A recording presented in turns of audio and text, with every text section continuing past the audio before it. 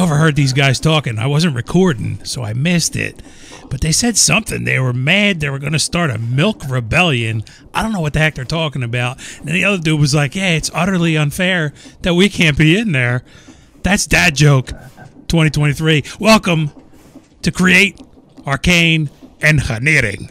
I'm Tube, your host with the most horrible jokes, and we're here to continue on in the Chronical Chaos chapter of Magic 3. Something like that is how it goes. Soul Sand and Souls is where we left off, right? The Soul Sand, we needed to wash it. So I'm pulling it out the back here on no belt. Boom! This belt is all waterlogged. And under here, there's all fans. I'm pulling it out stack at a time now. And that turns the soul sand into gold nuggets and nether quartz. We don't really need the nether quartz. We need the gold nuggets down here because we're going to use that and turn that into arcane gold later. The souls, we need to milk withers. So I set up a schmeltery. Let me get in here. And I also put a fluid tank in here. And this is freaking cool. I wanted to show this off before I enclose all this because this is all going to be hidden and inside the wall. But these things, the smooth glowstone, if we come out here, when you look at a create tank, you can actually see through it unless there's fluid in there, right? So to me, in the back, that kind of looks like a gauge. And that's freaking sick looking. That's going to fill up with liquidified resent once we throw wraiths inside here. And I'm stealing power from right here. I got a belt. Boom, it shoots through the wall. Create added this cool thing where if you put a casing around it, it turns it into a full block. That doesn't look terrible there going through the wall because of that. But I needed that power back here because we're gonna I'm pumping lava into the smeltery and I'm stealing that from back here where I've had set up for ages now to feed like chapter two and chapter one stuff, I think even. So lava gets in there and then we're gonna pump liquefied resent out of here into this holding tank and then use it for later. I have three wraiths for now that are going to be added in there. There's Dake, the rapper. He's making resent. There's Essential Mourner. He's making resent. And there is Ganger, the last of the Mohicans. And I realize now that you know what I need to do? I need to add a mod and go to the nether and get about six more of them. And Saturday asked if he could be named after one. So my brilliant idea is I'm going to grab six more. Monday, Tuesday, Wednesday, Thursday, Friday, Sunday. Saturday, sorry, dude. Didn't roll the dice today. Horrible sounds they make. We're going to get rid of that. As soon as I add the rest of these guys in here, we got every day of the week, but we're missing one. Let me close this all up so it looks good from the outside. Ah, yes, just like that. Have you back, please? Thank you. Go here.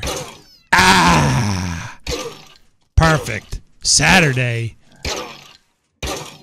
You, sir, are going to be right here.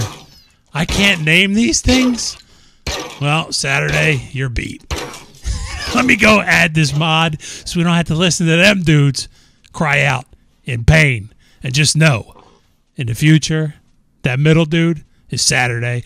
And if he tells any more bad jokes, I won't forward them to you. Real quick, I'm adding a mod, and it's called Extreme Sound Muffler. This mod is in the dev build, but it's not in the current released version of CurseForge. So how do you do that? Right click on this profile here and then hit view profile. If you're using CurseForge, this is how you can add and remove mods from here. See these three dots, click on there.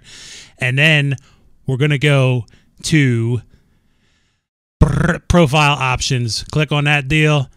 Click this, allow content management for this profile, and then hit done. And then if we go here to the list of mods, we can add a mod. And if we go like, where's it at? Where's it at? Update all, no, add more content. This guy right here. Boom, click that. Make sure you save your game before you change anything, right? because sometimes when you add or remove mods, the pack may not load. Extreme Sound Muffler, search that deal. This is it right here for Forge. We're playing on 118.2, so this is the correct version. And we're going to click install. Boom. Back out of this kit. It's in here now. And then just for safekeeping wise, click on here again, hit profile options, uncheck this, hit done. And then go back to playing your game. All right, after editing that little bit together, I realized I wasn't even looking at the skeleton. Saturday, still can't name it. All right, you're beat, dude. But the sound muffler is this right here. It adds this mod. Click on this thing, and if we go into the recent, we are in recent. Right here, you can change all sounds, muffled, recent. And I'm looking for entity. So all these sounds, because they're wraiths and they mimic other things, you have to mute all of them. Boom, and you click right there. And we don't have to listen to these dudes cry out in pain anymore. And we're getting liquidified resent. I got 69 buckets in there. That's freaking perfect timing. I'm going to let that build up. And then when I come back, we're going to mess with turning these things into something we already have plenty of. Truly meant it. There's 14,000 of these things sitting in a box from my rehab facility. These are called soul beads. And if I look at the recipe of these jumpies, if we take the liquidified resent, you need 200 millibuckets poured over top of a soul, you get soul beads. And I think we're going to set up an automation for that right now. I used up a lot of my game playing time today, traveling back and forth to the nether to acquire wraiths. So I think what I'm going to do, instead of waiting for this to fill up, we're just going to push and set this deal up right now. These are the souls. We're going to put a basin right there. And then on top of the basin, we're going to take a spout. This is going to be pretty simple. Spout right there. Boom, boom. And then we need a drawer. We're going to take a drawer and we're going to put a drawer right here. And because of how that falls on the floor, we're also going to use a thing called a puller upgrade. Boom. One of them chumpies. And I should have grabbed one of these soul beads. Pop a soul bead in the box. We're going to lock the box. Boom. That's locked. And then when we put this puller upgrade in there, that needs to go to the east. Just like so. Boom. That goes in the box.